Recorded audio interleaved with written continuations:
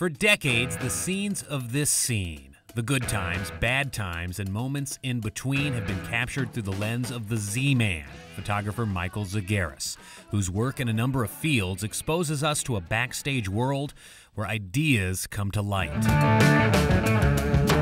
Because I've always approached what I do not so much as a, a photographer or even an artist, but as an actor.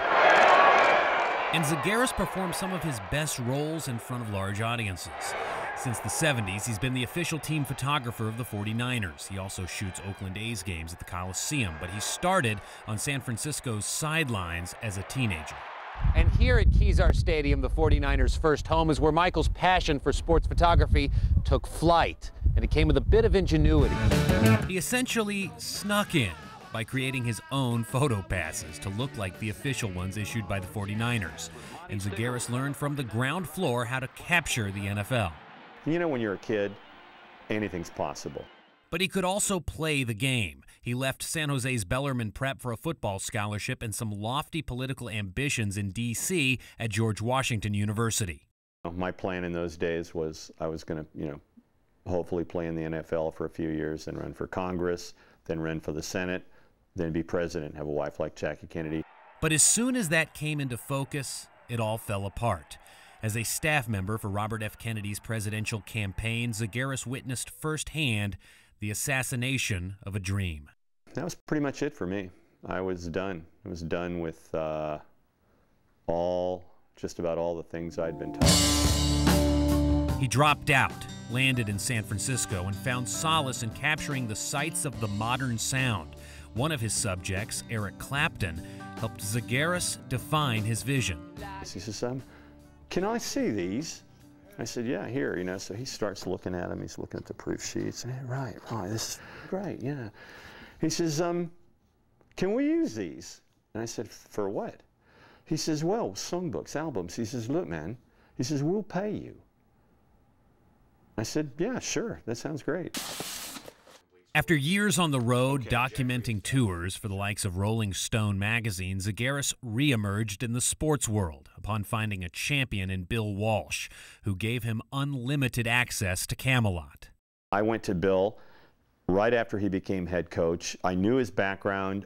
I just had a feel for him, and I knew that he was more than a football coach, that he was a historian, that he was a man of letters, that he was an archivist and I, I, I really had the feeling something special was going to happen. I said, listen, I, I want to document this. Here's a shot. And that he did, showing us the personal side of a dynasty.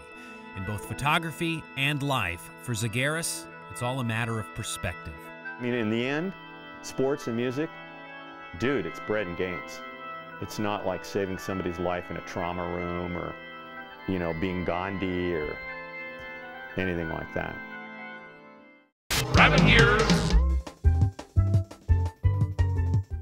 Before the age of Nintendo, heck, before Donkey Kong, technology merged with pop culture, not in the arcade, but on British television with Super Marionation from the fab world of producer-director Gerry Anderson. Now available on a collection of DVDs from the A&E network, Thunderbirds and other Anderson classics are given new life. As well as looking true to life, these puppets of tomorrow can talk like human beings as well. A magnet fixed to the back of the head receives electric impulses which move the lips in perfect time to the words they speak. Bring me the head of Burt Reynolds. After pulling a few strings, Anderson began to get his work distributed in the States, which led to more opportunities like producing live action teleplays such as the famed series Space 1999, a show that was not quite Y2K compliant.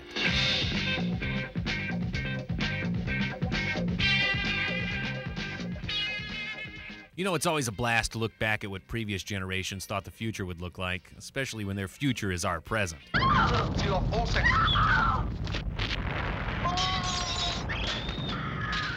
With the holidays approaching, get the old man what he really wants this year marionettes and Martin Landau. It's that good kitsch that will last a lifetime. Fantastic!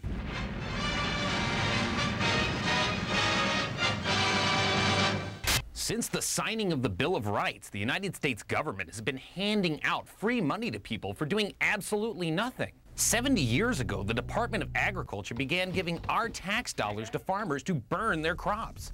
They call them farm subsidies, but I call it welfare for rich, lazy farmers. Give me a break. I throw away food all the time. The government isn't giving me any money. The National Science Foundation gives $100 million a year in funding to planetariums and observatories to look at the moon. I can see the moon from my backyard. Does that mean I get $100 million? The National Endowment for the Arts takes the cake. They gave Robert Mapplethorpe $25,000 to put a whip in his butt. Heck, I'd do that for $10. Give me a break.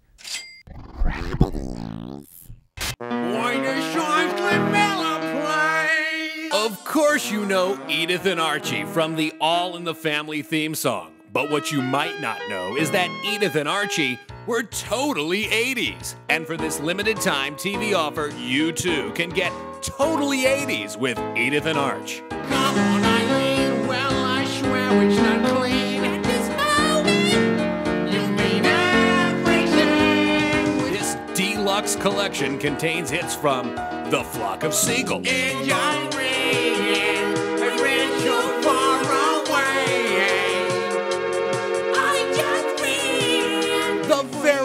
of Cyndi Lauper, Little they wanna have fun.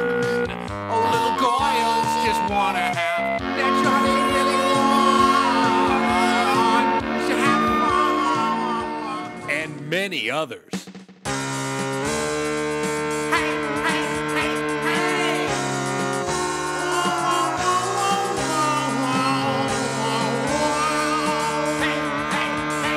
This CD is not sold in stores, and for good reason, so hurry and place your orders now. Operators are standing by.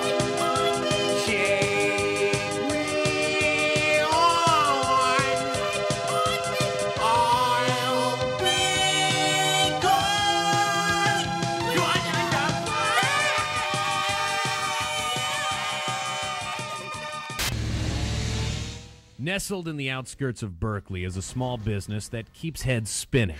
exactly. No, it's kind of a aerodynamic hat. It's an educational hat that cleverly illustrates the power of the wind for children. For nearly uh, three decades, Stacy Samuels has been the chief flight commander of Interstellar Propeller, a hat company with universal appeal.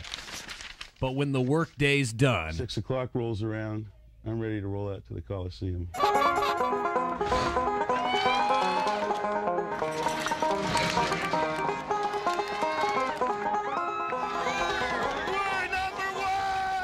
The mild mannered beanie maker transforms into Super A. It's rally time! I actually grew up in San Francisco. I had a misspent youth as a Giants fan, as many of us in the area did back then. Come on, A's! For over 20 years, Super A has been picking his way into the hearts of A's fans at the Coliseum. He's been here since I've been this big. He's amazing. I forget his name. What is his name though? Oh, I like to think of myself as Super A, but of course people call me Banjo Man. Banjo Man rocks. One for the hotter, two for the best, three for the best team that ever was, won't you? Look at those swinging A's. There's an urban legend that the Banjo Man is an eccentric millionaire roaming the stands for kicks. Oh, I would be a millionaire if I uh, didn't have a wife and four kids. But Super A is all about the love of the game. And it's one, two,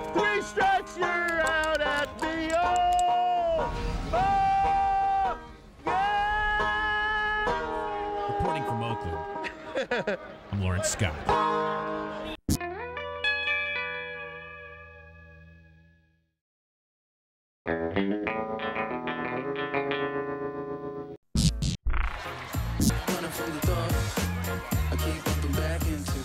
Video game simulations of professional sports leagues have become so true to reality that they're on the verge of growing tiresome and sadly irrelevant to the average gamer who isn't a sports nut.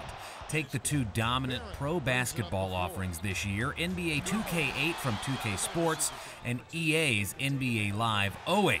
They are both at once magnificent and somewhat tedious. Without reconfiguring either offering's internal intelligence on player ratings and gameplay settings, you are left with an honest simulation of the modern day NBA, where shots repeatedly clank off the iron and lockdown defense wins championships in San Antonio, while virtually every Eastern Conference team is a complete wild card verging on utter disappointment. Well, you have to love the transition. Then there's the most disturbing trend of all overt advertising impressions, mimicking our modern marketing culture, but a highly suspect practice when considering that a consumer has already dropped 60 bucks on a video game. Halftime report. 2K8 is the bigger offender with the T Mobile halftime report and the Sprite Slam Cam, which goes beyond the representation of existing signage in a sponsored arena. But credit the creative entities for once again not so creatively immersing brand awareness into our leisure. When you get past superfluous aesthetics and that most of the coaches look terminally ill, these games are highly addictive and certainly gratifying to your typical NBA enthusiast.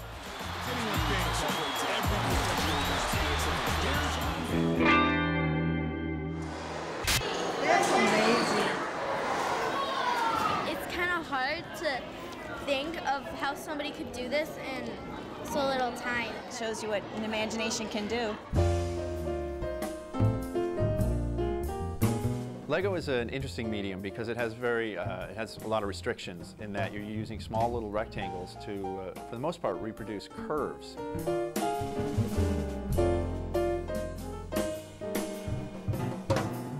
My name is Nathan Sawaya, and I'm an artist who works primarily with Lego as my main medium. About seven years ago, I challenged myself to try and build something using just Lego, a large-scale sculpture, and uh, it worked out, and I started doing other sculptures using just Lego, and eventually I was getting commissions from all around the world. And so I put a whole museum show together that now tours the world uh, using uh, just my Lego creations.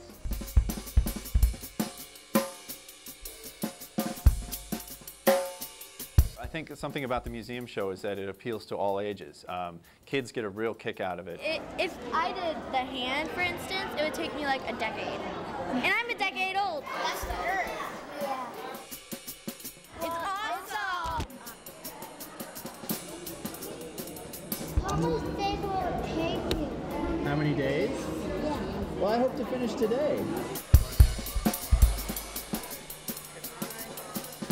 Is it art? Uh, great question. Uh, I think it is. I, I enjoy it. It's uh, selling at a fine art status at this point, and it's going into art museums. I'm trying to take Lego into a world it's never been before.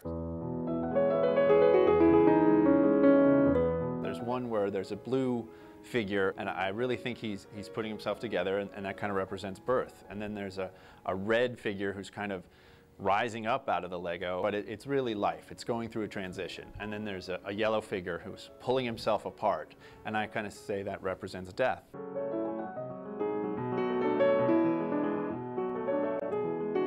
One of my favorite commissions recently was uh, a large-scale piece. It was a representation of the uh, famous flag raising at Iwo Jima. So this is a famous photograph that we've all seen, uh, very iconic, and then I reproduced that in 3D using just Lego, where the Marines were about three-quarter tall.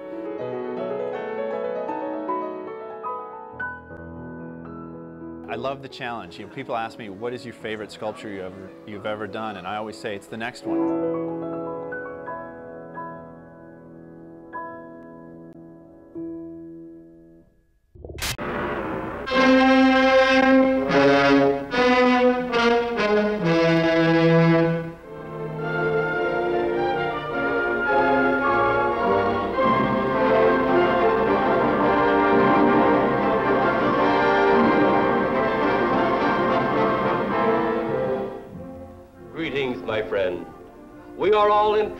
Future, for that is where you and I are going to spend the rest of our lives.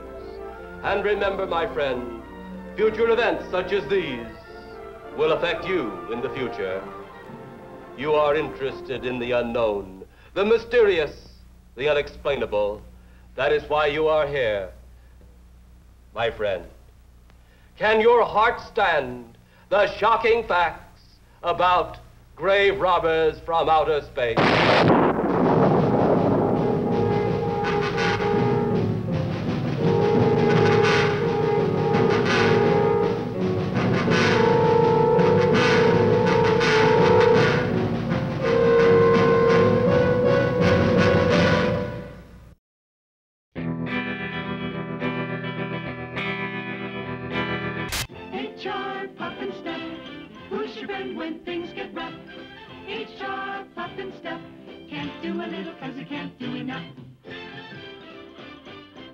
HR Pufnstuf. Can't do a little because you can't do enough. Well, that's a defeatist attitude. Still, Rhino Home Video has just released all 17 original episodes of Sid and Marty Krofft's HR Pufnstuf on a three disc DVD collection. The electric Kool Aid Saturday mornings of your past can be relived over and over again as you get your fix for garish costumes and psychedelic innuendo. You remember the deal? A young boy, Jimmy, playing on a riverbank with a talking magic flute named Freddie, is nearly abducted by Witchiepoo. But whether she wants the boy or the flute is a bit ambiguous. Nonetheless, Jimmy escapes with the flute to the enchanted living island where the mayor, H.R. Pufnstuf, rescues him. I'm sure it all made sense back in 1969 when the show began airing on NBC. And for the record, the brothers Krofft say that HR is Royal Highness backwards. And Pufnstuf was a direct rip from Puff the Magic Dragon. Here's Sid Krofft.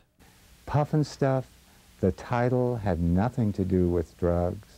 I mean, look, look at us. We're still here, you know. Just recovering. Yeah, No. just recovering. We're still here. For a streaming video archive of other DVD and video game reviews, check out lawrencescott.com. If you can get past the fact that Pufnstuf has a southern drawl, Well, I'll be Hornswoggle, a solid gold talking flute with a diamond skin condition and you don't mind excruciatingly slow moving plots, then you just might want to take a trip down this short term memory lane.